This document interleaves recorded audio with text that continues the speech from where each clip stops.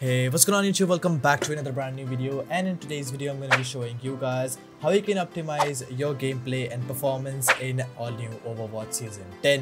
It has been dropped recently so make sure to stick around till the end of this video and with all that said, let's get started. Alright, step number one is the best Windows settings and for that open up settings on your PC and over here you'll find game bar. Simply turn this thing off, game bar consumes a lot of processes in the background and disabling so will help you to get better FPS. Then go back to gaming, go over to game mode and turn this thing on. It helps you by turning things off in the background allowing you to get better FPS. Right beneath that, you'll also find graphic settings. Simply open it up and then click on change default graphic settings. Enable hardware accelerated GPU scheduling as well as optimizations for windowed games. Both of them turned on will utilize your GPU for rendering the game as well as reduce your input latency. After that, go back to graphics and then click on this browse button and then locate your Overwatch 2 installed on your PC. For me, Overwatch 2 is installed right over here so simply click on add and it is already added in my list. Simply search for it, go over to options and then select high performance and click on save. Also go down to Windows Update and make sure that your Windows is always up to date. If not, you can always download the latest update on your PC and it will keep your PC up to date. Step number 2 is de-animating your windows. Windows by default has a ton of animations and disabling them will help you to increase your FPS in the games. And for that, I'd suggest you guys to go to adjust the appearance and performance of windows and right over here select for adjust for best performance. Then simply click on save taskbar thumbnail previews, show thumbnails instead of icons as well as smooth edges of screen fonts. These will minimize the look of your windows but it will help you to increase the FPS by a bit. Well, before moving ahead I would like to introduce you all to GVG Mall, a store which fulfills all your digital needs for games and gift cards in one place. GVG Mall has a wide variety of digital keys for games and in-game currency for multiple vendors, which is legit, reliable and convenient. On the website, you can find a lot of categories where you can get Steam and Origin as well as PC game gift cards and genuine Windows activation key. I however liked how convenient it is to get a genuine Windows key since I do not like the activate Windows watermark on my screen and to fix it I can literally get a Windows key for a huge discount. Generally you can get Windows 10 for 53.78 but on this sale you can get it for 21.75 and if you use my code FOX25 you can get additional 25% off at just 16.31 and you also have Windows 11 update for free and it is perfect time to get rid of that Windows activation mark. There are multi-bit payment methods which are convenient and once you buy it, you will get an email within minutes and using that code, you can activate your Windows in no time. So go check out GVG Mall, links are in the description below. Next step is setting up your virtual memory and for that go over to the advanced section over here. Then you'll find virtual memory. Simply click on change, deselect automatic manage paging file size, select custom size and then for the initial size set it to 1361 that is a little bit over 1 GB and the maximum size you can set this thing to half of your total memory so for that you have to search for system information on your pc Take a look on installed physical memory that is 32 GB. Now open up calculator and multiply your memory with 1024 and you'll get the value right over here. So it is 32768. This is my memory in megabytes.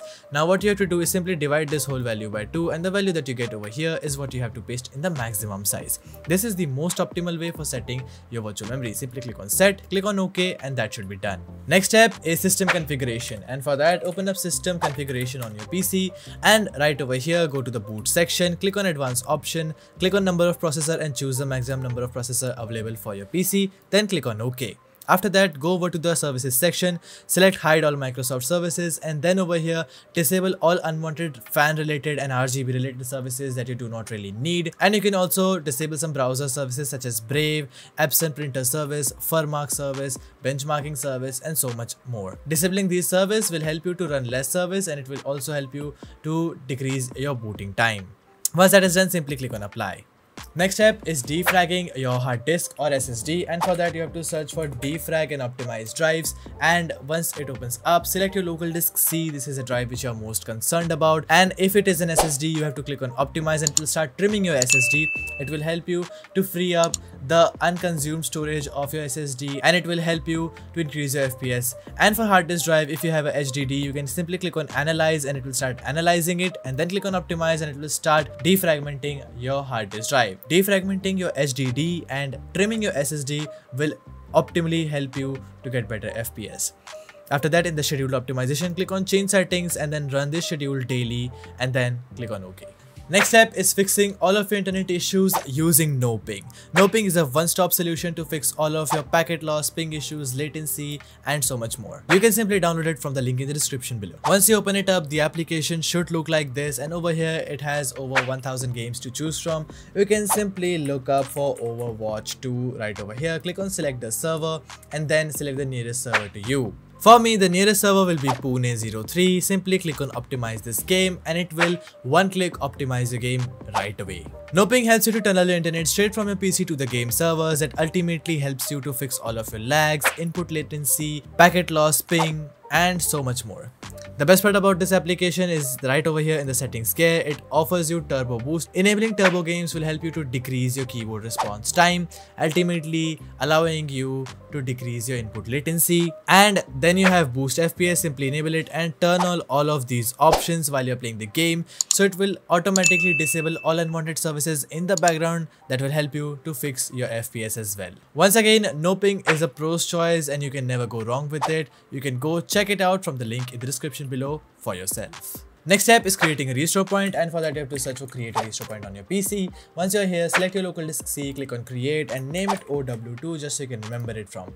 I highly recommend you guys not to skip this step because if you want to revert all settings back to normal without any data loss, you can always do it with this restore point.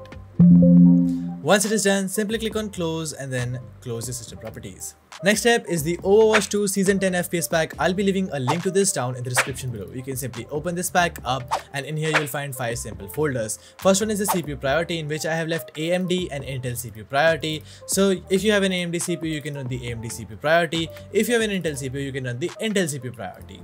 Then you have RAM optimization. Once again, I have 32GB RAM, so I need to run this one. You can simply double click to run it. However, I have left a ton of presets right over here and also a reset to default just in case you want to reset it back to normal. Then you have Overwatch 2 priority and for this you need to comment your PC specifications down in the comments below and I'll be telling you guys which one that you have to choose. Once again, according to my PC, I need to use the medium priority, but it can be different for you, so do leave your PC specs in the comments below. Next folder is unwanted services and right over here I have left a ton of services that you can disable on your PC to get extra FPS. And to do that, you can simply double click and run all of them. And once again, if you want to enable them, you can always do it from this revert registry folder. Last is the batch optimization in which I have left clean temporary files, disable memory compression, and last one is the disable mitigations. You have to right click and run this as administrator and it will ask you to delete all temporary files on your PC. You can simply press any key and it will start deleting all of them. Don't worry, this is completely safe and it does not delete any important file from your PC. Next is disable memory compression and it helps you to reduce the number of services running in the background, ultimately allowing your CPU to function more properly. And this is super beneficial, it helps you to run a command that is this one that you do not have to manually run on your PC, so it will automatically execute this. Last is a disable mitigation and it will also help you to reduce the load on your CPU and it will keep your PC in much optimal condition whenever you're playing the game. So once you have run all three of them, you're done with the FPS pack, simply close it up and open up your game for the best in-game settings. Okay, once you're in your game, press your escape key and then go over to options. Then over here in the video settings for the display mode, make sure that it is full screen. Your targeted resolution is your native resolution. Then your FOV should be 103, aspect ratio should be your native aspect ratio. Dynamic render scale, turn this thing on. And then maximum in-game resolution, set this thing to 90. And then minimum in-game resolution, set this thing to 75. Frame rate limit, set this thing to custom. Desired frame rate limit should be your frame rate limit of your monitor mine is 237 so i'll set this thing to 237 and it should be set to desired and maximum then you have VSync, turn this thing off, triple buffering off, reduced buffering on, NVIDIA Reflex enabled plus boost, gamma correction, contrast and brightness is a personal preference, HDR I have turned this thing off.